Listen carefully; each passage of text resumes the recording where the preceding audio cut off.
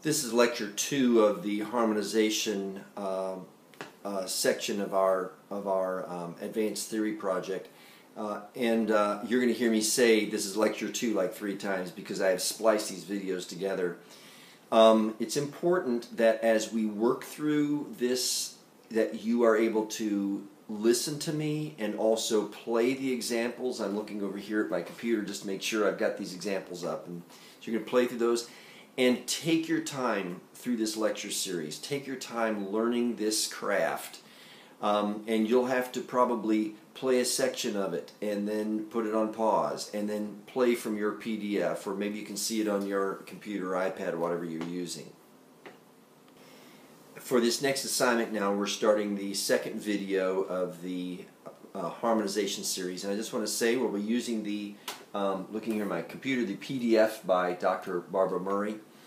Uh, I'm going to be going through this, all of these steps. Uh, it's important to know that you're going to have to play that video over and over and over again. You can even take it in sections as I go through each step. Make sure you understand each of these steps, uh, each of these part writing rules. However, it's important to realize that um, that these rules are are going to seem awfully complex as we get into them. And so just relax, take them a step at a time, and um, and remember, we're really after not memorizing the rules themselves as much as we are learning these sounds and learning the basic concepts. Uh, there will be no way around you calling me or writing me, and we'll have to go through this over and over again. But you're going to learn this art. Uh, just see this video as a primer, just a beginning, just an introduction to this, and you're going to do just great. So this is the first part writing rule lecture. And I have pulled up now our PDF of the part writing rules by uh, Dr. Murphy at the University of Tennessee. She's in uh, the theory department there and has put out what I think is really the finest um, overview of part writing that we have. So we have this first rule use proper notation. She doesn't have these listed out as rules as such, uh, and the first few are are uh, review for a number of you. But first, basically, what this first one is saying is that when you're writing for the soprano, the stems will go up, alto stems will go down, tenor stems up, bass stems down. Uh, and then this second rule will be review for many of you that uh, you are writing a chord either in close or open position. Close position uh, means there is no interval between the soprano and the alto part and no interval between the alto and the tenor part. But open position leaves one space of an interval between soprano and alto and alto and tenor. So the interval missing there between the soprano and alto is a C, and you'll see the interval missing between alto and tenor is an E. Uh, so when we're part writing, we do not want to have two spaces between here and an interval, one interval space here. We're either going to be writing in close position or open position like that. That's a really important rule. I see that uh, broken a lot by novices, and it makes a big difference when you're playing it at the piano or a keyboard. You really don't hear that difference, but when you have singers singing, you're going to listen to it and go, "There's something wrong here," and that's uh, going to be the reason that the spacing between your parts isn't going to sound right sometimes. We move on then to the next uh, rule here, and they're just saying here that you keep their voices in their proper ranges. And those ranges are out here for you. Um, sometimes I'm going to tell you that I think that uh, you don't want to go down that low in the bass part generally. You want to keep the bass part up in the G. And in the tenor, up on a high G like that, I'm frequently going to tell you, well, that's lawful It'll sound okay, but with a lot of choirs, you might need to bring that down uh, to an F or so. Um, but this is one of those areas that I see a lot of novices break these rules big time on their first harmonizations. They'll have sopranos going way up to high C and altos going way down the bass range. And um, so it's best to learn this now so that the first time you have a group sing your, your piece, uh, it's sounding as similar as you think it should in your mind um, instead of not sounding all that great.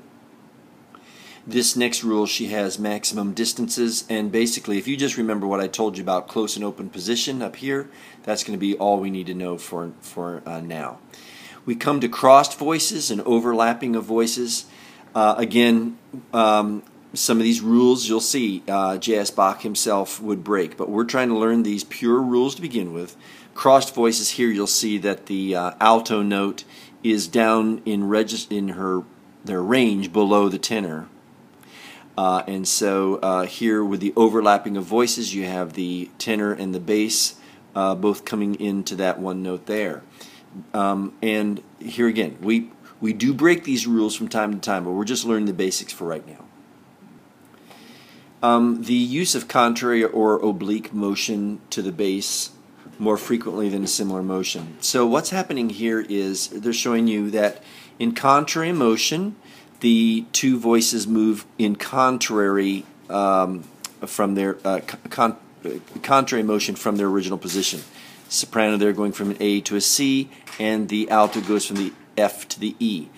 That is a very powerful sound. Here's oblique motion where one voice remains the same and the other moves.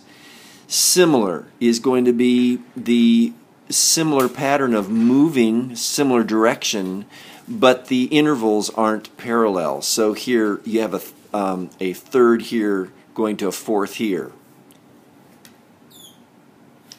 And then here you have exact parallel motion, a third going to a third. Well, generally, parallel motion is a weak progression. And when we're talking about the uh, using the uh, the motion with the bass, uh, what they're saying here is that when you're writing with tenor and bass, it's best when possible to move in contrary motion. It's best if you can't do that to move in oblique fashion. You can use a similar motion if you want, but these are really the the more powerful ways, the more smooth ways of moving from one chord to another. So none of these are bad. It's just in order of preference between voices, but especially between uh, your bass and your tenor. We come now here, never write in parallel unisons, parallel fifths, or parallel octaves. And here's an example of parallel fifths and an example of parallel octaves. Uh, pardon me, this is just an example of parallel fifths.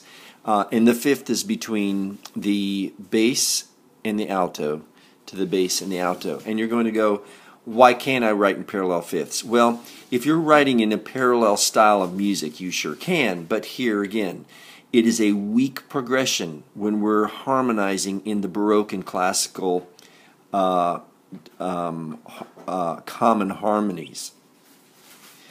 Um, double the stable tone in the chord, never double the leading tone. And so you'll see the leading tone here in the melody was going from that B to the C. They harmonized this and put B to C in the bass. It's going to be weak. It's going to sound weak.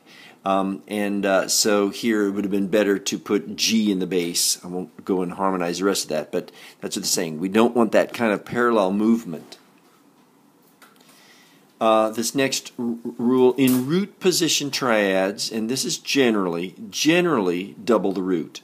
And so you see here in the key of F, you have this um, this one chord F. They've doubled that uh, there. You have the minor six, and uh, they have doubled that there, and so on and so forth. It's just a stronger thing. This next rule now, this starts getting a little tedious. However, it's something important to really go by more your ear than by the analysis. In diminished triads, you're going to double the third uh, because it's not a note of the tritone. So here's a diminished second.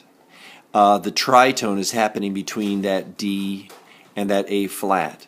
And so the third of the chord is an F, and so we double that. Sometimes you can't do that uh, just depending on how the harmony is going to go.